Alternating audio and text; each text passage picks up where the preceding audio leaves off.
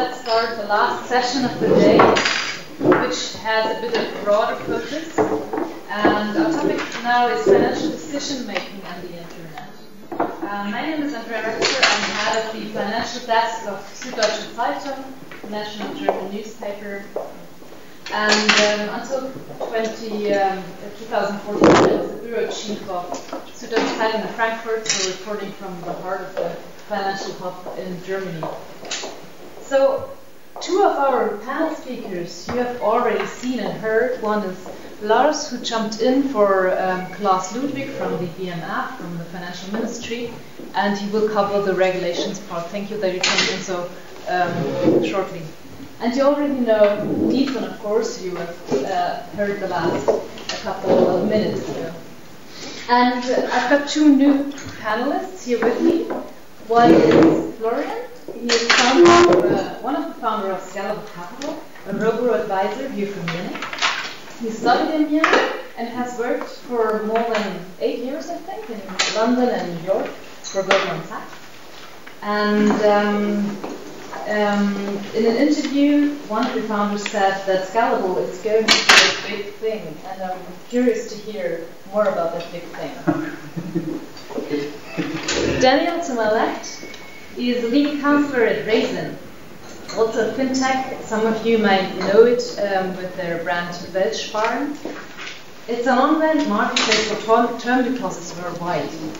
And before joining the Berlin-based fintech, Daniel worked for well-known law companies. One of them is Hengeler Mueller in, in Düsseldorf. He earned his law degree in Passau and was a visiting researcher at Harvard as well. Okay.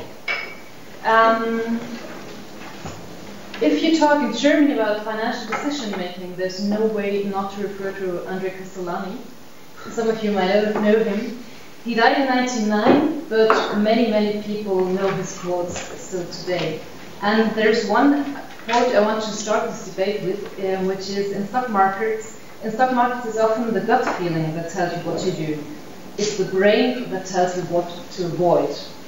So the gut feeling versus the brain was a red line for a long time. In the old world where traders were shouting at each other on the trading floors, um, today, you can hear stock exchanges maximum a small hum of computers. So the financial markets have changed a lot. So, Lars, I'd like to pass you the first question. Would you agree that the line has shifted from gut feeling versus brain to human work versus machines? Um, okay, I, I guess in, in, some areas of the market, for instance, if you think about uh, high frequency trading or something like that, I think there is simply no way that you uh, can outperform a machine as compared to a human being. And I guess on the other hand, uh, what also happened, uh, what is like my personal gut feeling, is that uh, that the markets, uh, as they have moved in the past, are no longer that uh, predictable, uh, as a lot of policy changes have moved in, everything became much more riskier, and uh, so your, your, gut feeling might not develop anymore, and not be developed anymore as it was in the past, where market markets were less influenced by big policy or political events. Mm-hmm. Ethan, when I listened to your presentation, I was um, asking myself if people who invest in crowd investing, do they even take the financial decision, or is it more emotion or pure gut feeling? So I think that's a really good question, and we actually don't know enough about the micro foundations about why people are making the decisions they do. So it's unclear whether, in some ways, it's about gut decisions aggregated out over time are better, or whether it's the fact that some people work on guts and some people work on uh, with numbers, and it kind of comes together. I think the important qualification is that we know a lot about that. We know that humans should be making large-scale financial decisions, but we still aren't very good at computerizing early-stage investment. So there's still a lot of gut in that, and I don't necessarily think taking that all out at this point is, is valuable. Let's um, continue, Daniel. Raisin is um, a fintech that uh, promises to raise your interest rate, which is a very good idea in that area era of low interest rates. But can you maybe dig into that a little bit more? How um, that technology you use does help in financial decision making. Mm-hmm. When comes the technology in your fintech? Yeah. So basically, as, as you explained, we're a neutral platform uh, making deposit products from banks across Europe available to, to customers across Europe. So as a German customer could buy a Spanish or Portuguese or Swedish deposit product. So we're a neutral platform, which means we don't want to influence the, the customer's decisions in a substantive way. But we, of course, what we do want to do is actually get the customer to take a decision at all. So to overcome the natural inertia of customers to procrastinate in terms of the financial decision making. And that's where our technology really comes in. So this means, uh, first of all, um, ad tech or marketing technology. We use a lot of uh, technology uh, to optimize the, the, circumstances and the uh, and the way and the point in time when we approach the customer to actually uh, increase and, and, and maximize their likelihood to, to take the decision to actually uh, talk uh, think about their finances now. So that's that's that's where a lot of our our uh, IT and, and, intelligence goes into. And and the second part, I guess, is as much IT as maybe process and legal uh, innovation is. Want to make it as simple as possible for the customer to actually conclude the contract and, and get the product that he wants to, and uh, eliminate all the steps in between, or eliminate all the paperwork uh, so that in the ideal world, the customer has has an intention to now, uh, you know, buy a deposit product, and five minutes later he's it, and that's where we're trying to do using all kinds of, of legal tech and, and other uh, innovation. Brilliant.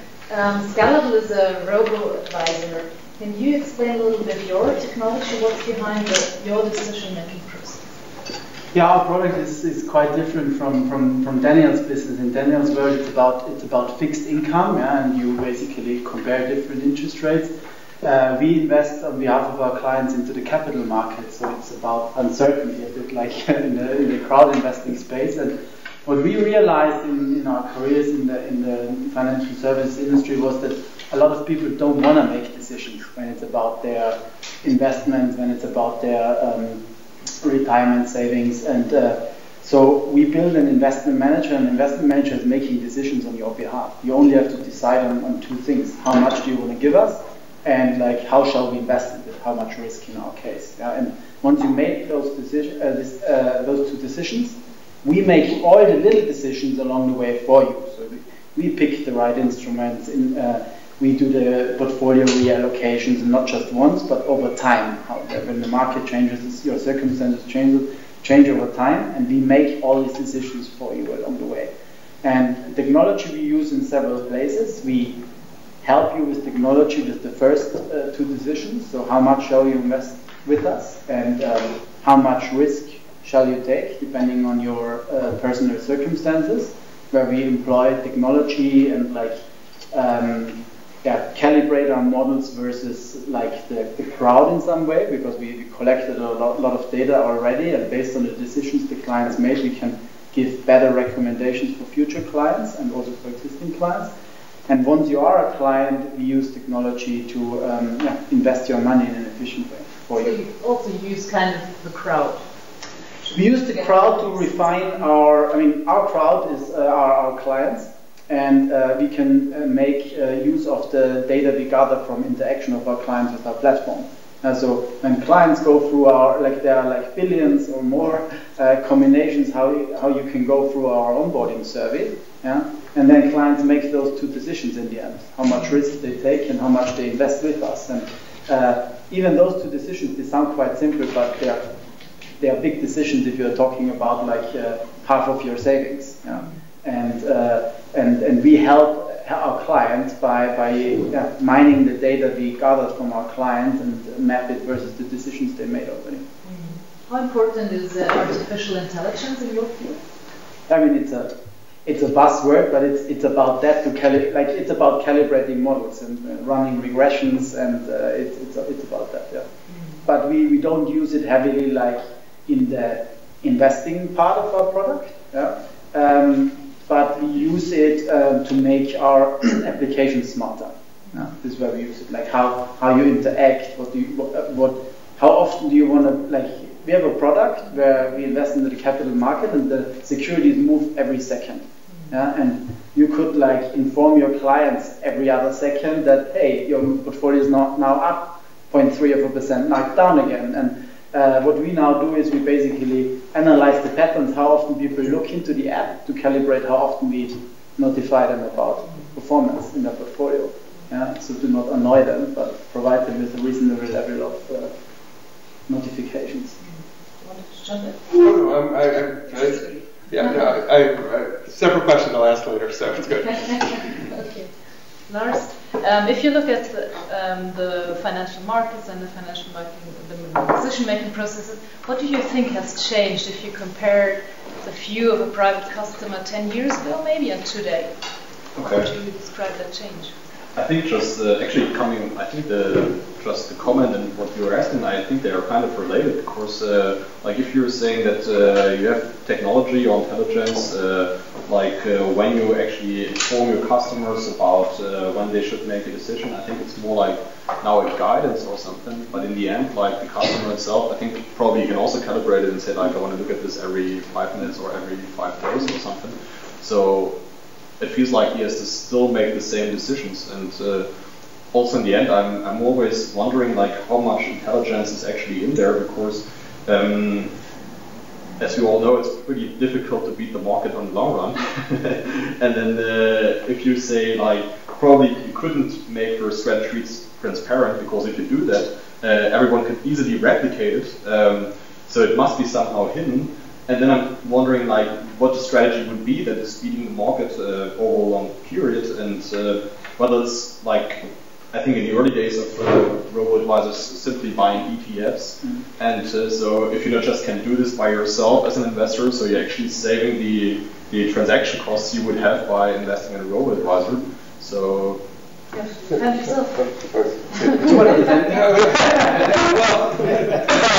was going to say, I've taken to asking people in finance when I meet them, depending the category, how long do you think that before the median job in your field is replaced by a robot, right? So, you know, not the best, there's always room for the best, but sort of the middle middle level here. Um, so I, I, think that it, it becomes a question of on, on the high end, self-evolving strategies that happen faster, and on the low end, you're not supposed to do anything, right? So the more attractive you can make doing nothing, the better the duty that you do is, right? The doing nothing part is a, is a, is a very important thing. So the algorithm and robo advisory is not just about the investing part. Obviously, there we employ a lot of technology and, and uh, also like smart people from, from academia and from, from the industry to refine our models. And refining our models is about, I mean, there are 1,500 different index funds available in Europe. Yeah? How do you pick the right ones? And do you want to do that yourself every other quarter? Yeah? Because the prices are changing all the time. There, there are new, new players coming into the market.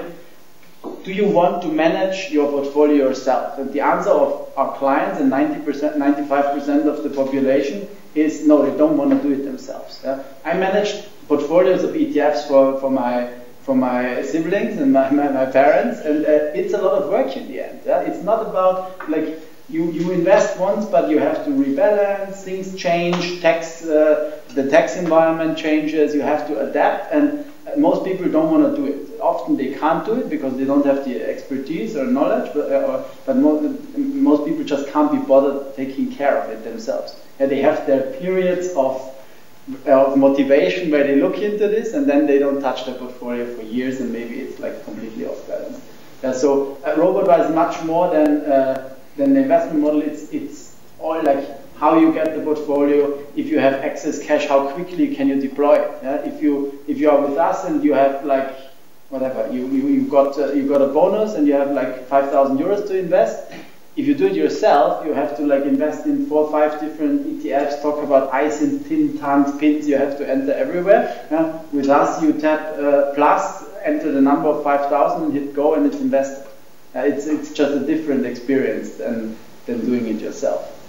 With, uh, with Daniel, your customers do have a different uh, strategy if they work with you? Well, I mean, I guess our customers are, are uh, probably the demographic would be similar, but, but uh, the investment end is very different. And we're deposit product, so the most secure and simple product, the, the no, no fancy stuff in there. Um, so the, the, as I mentioned, the innovation is, is really making it as simple for them as possible to, to trust. I mean, our customers are 55 years on average, uh, 75% male, above above average uh, education, but they, they, they tend to look at details. They're not like impulse driven. They, they read the stuff. They make uh, astonishingly uh, rational decisions, so they're not going for the high interest rate all the time they actually see that uh, the country rating is an important factor in a, in a deposit if you compare cross-border. So um, they uh, they uh, they they can be bothered to some extent to go through the details, and they're doing it, but yet uh, making making it as simple as possible is the key key success factor. Mm. But it's still it's the customer who takes the all the decisions, yes. where you take the decisions for your customer in the case of because we invest in the, into the into the capital markets, but what is somewhat simpler uh, similar across the two platforms, and the, this is fixed income and like deposits, and we are in in, uh, in the capital markets. But uh, what is similar is you need to make it as simple as possible. there are like for those people who want to do it themselves, there are tools out there. Like the innovation happened in brokerage. Yeah? Since 15 to 20 years, like there are brokerage firms out there where you can invest very easily and for, a, for very low commissions if you want to do it yourself. But most people can't and don't want to do it themselves. And there you need platforms who help them. Uh, and in, in, in Raisin's case, it's about not opening, uh, not, not having to open, uh, fill out forms of opening bank accounts with, with banks all over Europe. Yeah? In some areas, you can't even open it cross border yourself, but even if you don't want to do it yourself. And in our case, it's about not making those investment decisions all the time. Now you give us a mandate, it's like uh, Uber is your private driver and we are your private investment manager. And our service previously has only been accessible for very rich people. Now, investment management is not a new business, but having someone who takes care of your portfolio without you being involved in the past was something where the entry hurdle was at a million dollars. Mm. And that changed with technology. I always like when uh, fintechs say that they want to keep it simple, but I also think I, I was always wondering if it's really easier than years ago to take financial decisions because there's just so there's so many options on the table. There's crowdfunding. There's um, you both two of you you get we've got the whole range of fintechs on the one hand and the other hand. Um, so, uh, what's your take on that? Do you think it's easier for the customers today? I think not at all. I think, uh, I mean, for us, like if you look into particular products, and uh, so, for instance, if you look into the crowd investing contracts nowadays, I think it took us uh, a couple of hours probably to figure out what the share actually is you are actually buying and what your participation rights are. And I think like we are on the probably upper side of uh, the financial to understand this financial contracts. And I think for a regular uh, user or investor of, of, of, these products, it's not at all easier than before. And I think if they just bought a simple product like a stock or something, that would have been probably a much easier decision because it's much easier to understand in the end. Mm. And I think for other products, that is probably equally valid. Maybe a, a, little anecdote because we were really struck by, by the effect that uh, our products being listed at the Schiffel test, what that effect had actually on our inflows. Uh, and we would have thought, you know, our customers are online savvy, they, they, they go through the details, they Google stuff, but the printed finance test paper uh, is actually, the magazine is actually the, the, the, one of the most important drivers in inflows. It's still partly explained out in the graphics, I think uh, within each silo, it's about the, um, the platforms to navigate complexity. Like Kickstarter needs to crack navigating the complexity in crowdfunding and other platforms, and platforms like Raisin need to navigate it in deposits, and we do it in our space. But one thing, and this is really a problem we hear more and more often from our clients, is about your overall asset allocation. Uh, this is an answer we don't give right now. And we don't help our clients in, uh, with how much should go into buying a house here in Munich and how much should be on a deposit uh, with Raisin and how much should be with scalable capital and how much shall I, shall I put into a crowdfunding project or whatever. So this is um, like this financial planning hasn't been that automated yet. Uh, there are some businesses uh, with into that direction to like uh, have a product agnostic financial planning in a, in a, in a digital with your business model. Yeah, we, I mean, we, we want to really focus about what, uh, what we uh, what we are good in, and that's uh, that's like the investment management part in, in the in the liquid uh, capital markets. we we are not the best.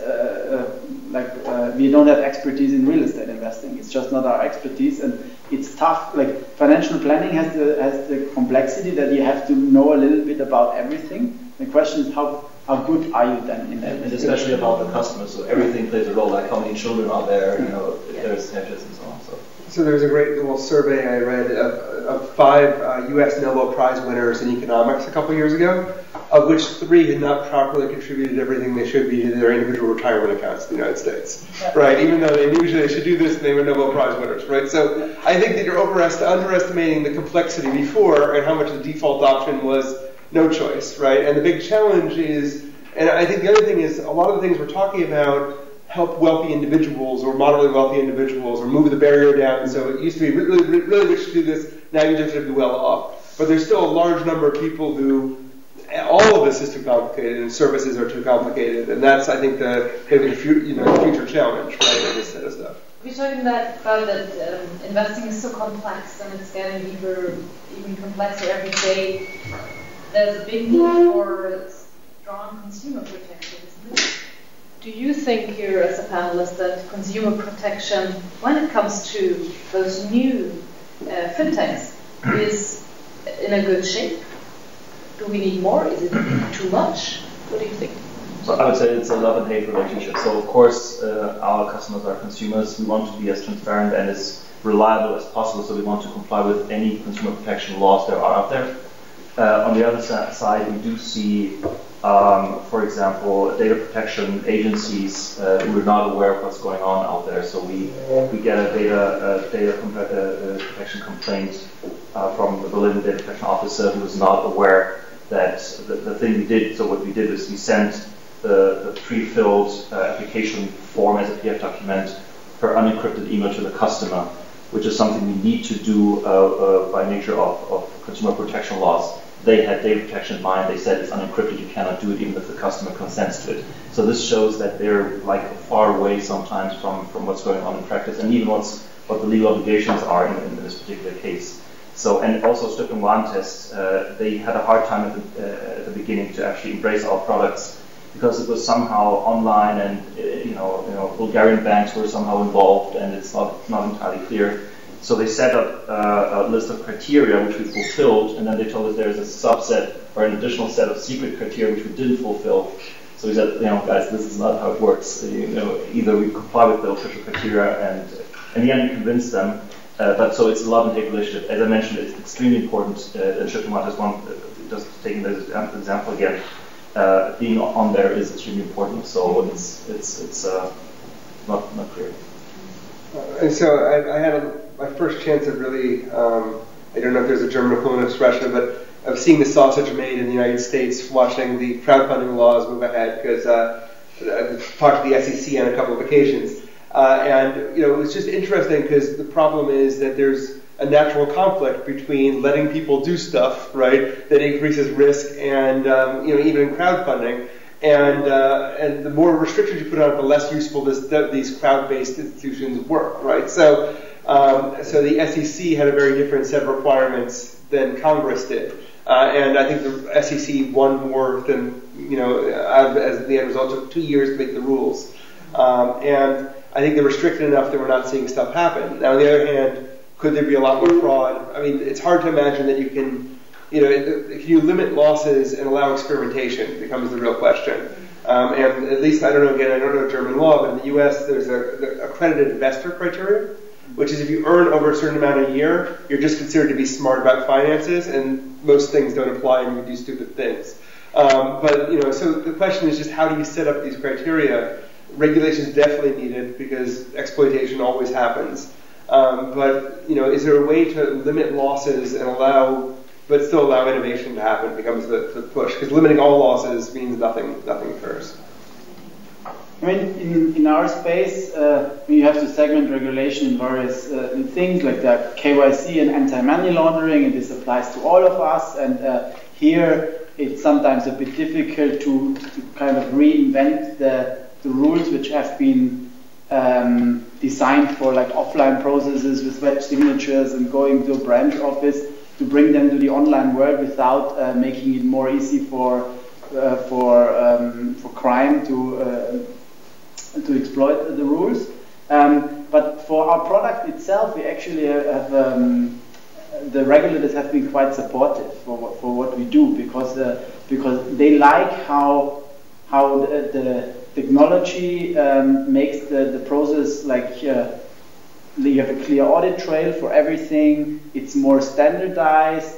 Like people sitting in front of their screen and going uh, through a survey, it's a more neutral place than being in the back room of a bank branch and someone like like really pushing you into, into a specific product. Like they, they, they like it and they, they like how, how transparent everything is and how they can um, how, how they can also audit these things and look how people about our questions and the answers clients gave and what we actually recommended that there's like a clear link between what the customer wants and what we actually offer so in that space they were actually uh, quite supportive but the biggest difficulty is just to the, the pace of innovation yeah, and, and like the pace of regulation to, to keep up with that. Yeah. And there's also been some kind of regulatory competition. If you look at the um, uh, London, uh, the Great Britain's um, um, regulation, they have put a sandbox for fintechs. Do you think that's a good idea? Can I jump in here? no. Having having having applied for uh, because we we have uh, we have two subsidiaries, one in Germany and one in the UK, and they both have run the same business. Investment management, one for the German market, one for the UK market. And we didn't go for a passport, but we really have a license in both markets. And the, we, we kicked it off at the same time. And uh, even though BaFin and Bundesbank, they don't, don't talk about fintech, sandboxing, and, uh, and, and like are not very present on all the conferences, like they were twice as fast in processing our license and giving us a, a, permit to conduct our investment management service in the German market and in the UK. Hopefully the FCA is not listening. but um, okay, so there is a is a competition, and some try to outrun the others. Mm. But is that a good thing, Lars? Well, I think we cannot tell yet because we don't know how the startups performed that went under this uh, sandbox regulation as compared to other startups. But I mean, you can, if you think about it, I mean, who are the startups who are actually moving in there? So it's probably these startups who have not as enough capital or resources to comply with the regulation, who don't want to grow that fast. And I'm, I'm thinking like whether you don't have a negative selection having the sandbox approach because um, if you're a fast-growing startup who has enough uh, VC capital or whatever, I mean, they would go, go right for the real thing and not like have a, a, a, contract they have to change later on. That's also costly and this slows everything down. And I wouldn't say it's only a positive thing. So it could have positive and negative uh, aspects. I would, I would agree to, to the extent that I, I, don't think I think it's a misconception that, that startups or fintechs are against regulation. I think quite the opposite is true what we need is, uh, is clear regulation. And so what regulation usually brings about is, is, additional complexity and need to adjust both of things where startups are, are, typically very good at. So it actually can even be a competitive advantage if regulation happens. And, uh, and especially for our, in our case, so I'm not sure regulatory competition is the right word, but our business model naturally, so what we do is we take money from German investors and put them into banks in, let's say, Sweden so uh, in the end, the Swedish uh, deposit insurance scheme will have to pay off German investors, which they don't like. And on the other side, it, it may, it may take it takes money out of the uh, German financial system. So both national regulators have a natural tendency to not like the product so much, but looking at uh, having the overall European uh, picture or perspective, it actually integrates, it creates a single European market for deposit products. So, and that's actually a struggle we sometimes we sometimes face. It's not so much competition amongst regulators, but but uh, but uh, national protection, I would say. Um, Ethan, when you talk about um, crowdfunding, um, there's the people who invested in the project online and gave their own money, and uh, most of them are retail, small retail clients. Um, what if something goes wrong and then the crowd gets angry? How, what, what, what happens? So um, the answer is so again we'll differentiate between two types: reward-based, right, where you're not actually investing, right? So that's a separate category, but we'll talk about equity, which is more in line with this panel. Um, so it's sort of unclear right now. Um, so they've pushed the whole problem out. Um, portals have, are the responsible entities in some cases, but if they're doing everything right, then responsibility falls to the organization um, responsible. I mean, it was, you know, whether or not you can ever claim anything from a small fly-by-night retail company that fails is an open question. Um, how you end up making money in the end from these investments, right? Because these are not um, these are not lend, lending investments, but they're equity investments. So that company needs to exit, which implies a high failure rate. So this is the big danger in equity crowdfunding is you're betting on a lottery ticket, right? Because there is it's not a loan where you're going to get some piece of return. You've heard about how great startups are. You've watched the Social Network movie. You watch, you know, whatever you call Shark Tank or Dragon's Den or whatever here, and you think, I want to do that. So failure is part of the game. So that becomes the real question: is how do you educate people the fact that they're going to fail, and then how do you stop? You know, how do you filter? Uh, you know, and we, if we solve the problem of figuring out which startups to invest in, um, I wouldn't be here now. I'd just be you know using that system. Um, so it's sort of an open question of um, you know what do you expect, right? As opposed to these products where it's about limiting downside risk and increasing return making everyone a venture capitalist requires a very different attitude, and I don't know if it's a good thing ultimately or not. Okay. Before I come to the audience, I know you have a long day already in your plans, but I'd like to open it up to the uh, public um, after this round. Um, Ethan, you already mentioned in your uh, presentation uh, the word democratization, and that I think that all um, to both of your fintechs also take part in that, um, that you open up something for people that couldn't invest in that special area before. Um, because, as you said it before, that usually it was only open, capital markets were only for rich people. Um, so I'd like to give that question um, to you, Lars. Um, do you think that all the fintech environment helps to democratize financial markets? Yeah, absolutely. Uh, I think this morning we, we had a paper on social trading, and the, the word was that uh, I mean everyone can now become a fund manager. I think that already tells us uh, like if you are good in that, and you don't need any financial education or like any education at all. Like if you're a good person in uh, investing in stocks and you build a nice Wikifolio or ayondo, uh, whatever, then uh, you're just the person to do that. Um, I think that wasn't possible before. Anyone to add So I, I, would just say again, I know we've said this before, but this is a two-party process, right? So, you know, I, I like the idea of thinking about the, the global capital flows as having beneficiaries in terms of recipients of the money as well. And I think that's the other question: is you're democratizing access not just to the people making the investments, but the people receiving them.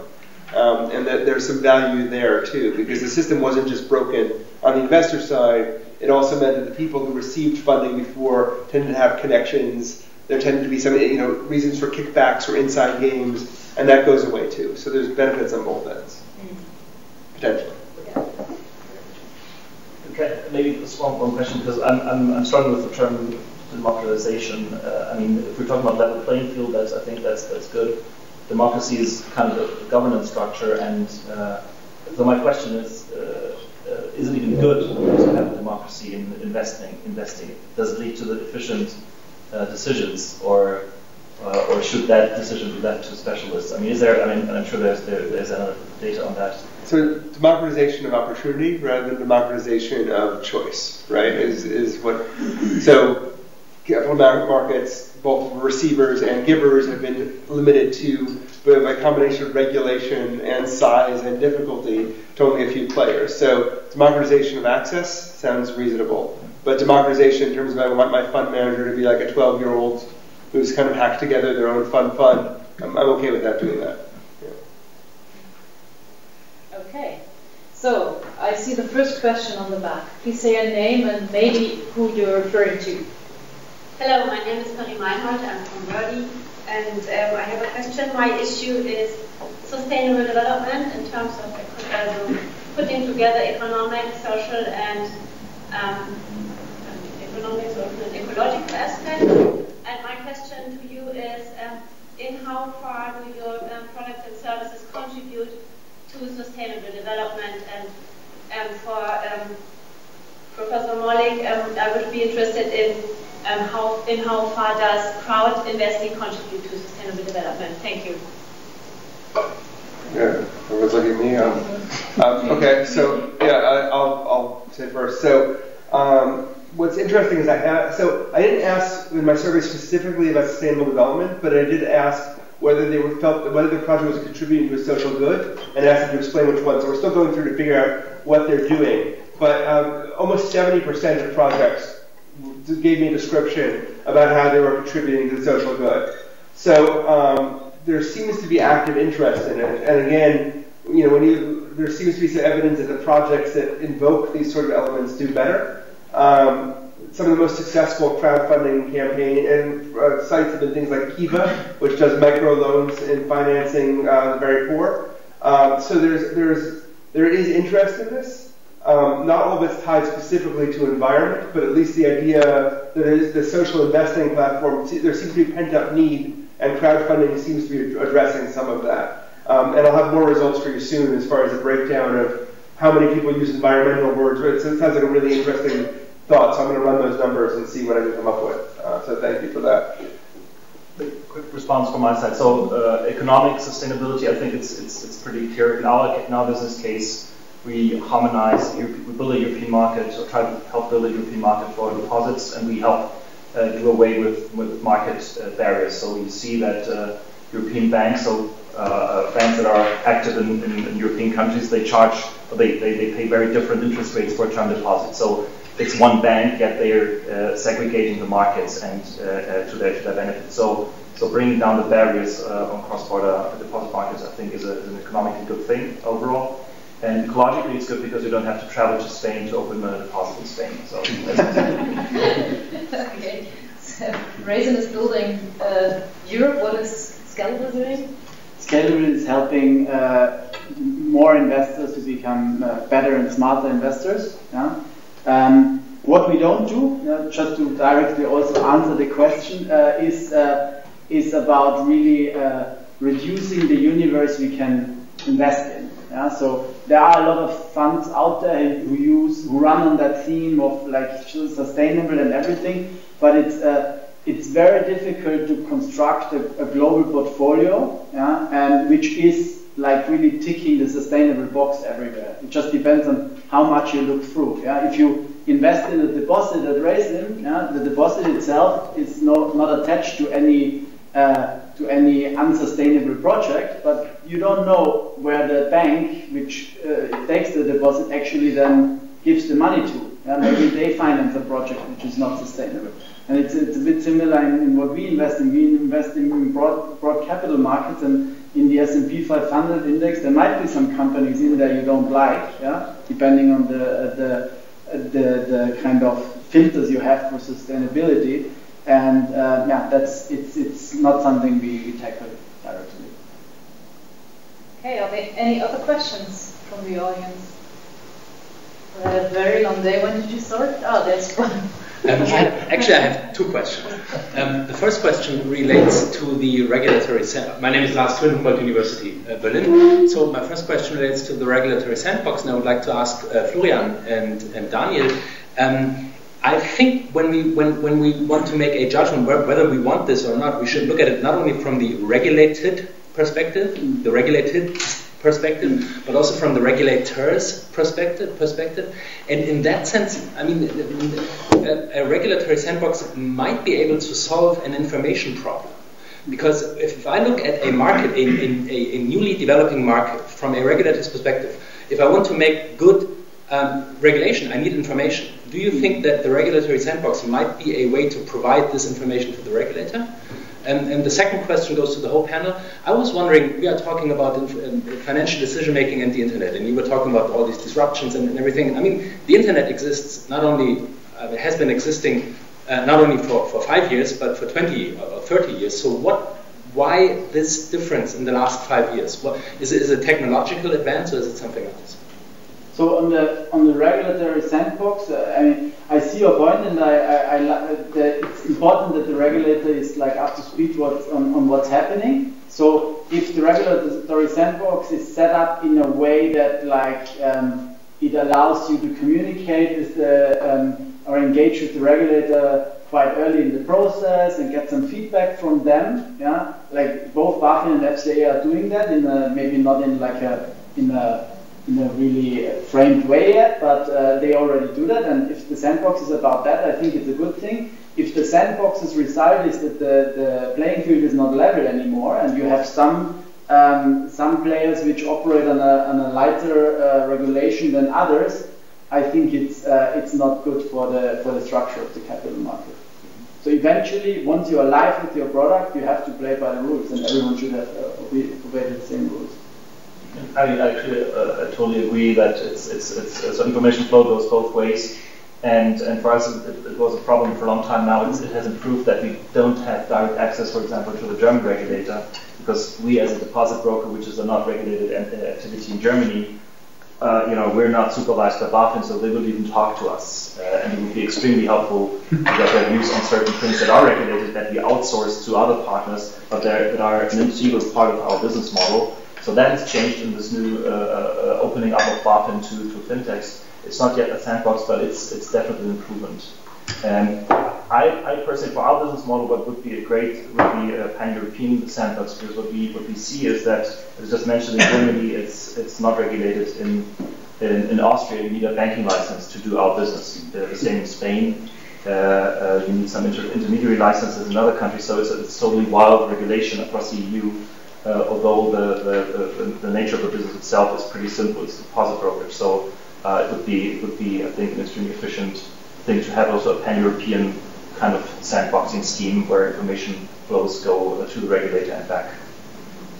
So the question was, what has changed in the last five years? Would you like to start with that, in regulation? No, not in regulation, in the internet. That was the second question. I mean, the, the, internet was, was there in the 90s, but we didn't see scalable capital or, or, or, these services. So is it really technological advance or is it something else as well?